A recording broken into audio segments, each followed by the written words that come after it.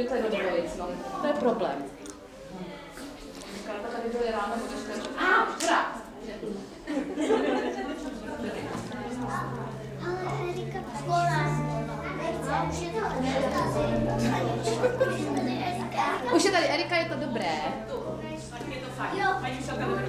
Ano. Dobrý, takže už jsme být všichni na Jo, tak jenom tá Tak dobrá odpoledne.